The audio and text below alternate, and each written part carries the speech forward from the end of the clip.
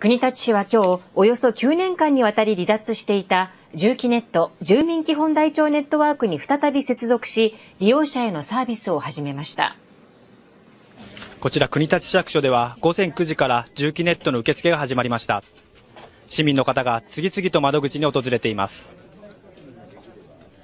重機ネットは住民の氏名や生年月日などの情報と11桁の住民票コードを市区町村が都道府県を通じてデータベースにしたシステムです。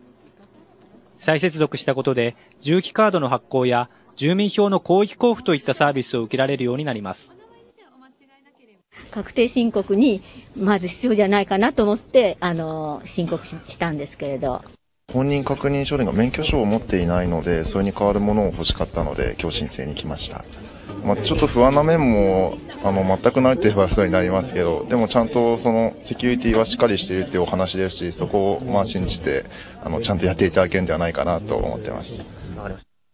重機ネットをめぐっては国立市は2002年12月に個人情報保護に不安があるとしてシステムを離脱していました。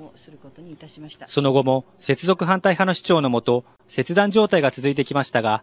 去年4月の市長選挙で市民生活に欠かせないと再接続を掲げた佐藤市長が当選し、方針転換しました。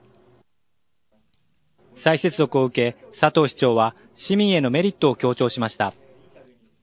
国立市も他市と同じような状況になったという安心感を持たれていることが大きいんではないかと。十分なあの準備を進めてまいりましたので、えー、安心してですね、重機ネットにあの接続していただければ、あるいはご利用いただければありがたいというふうに思っています。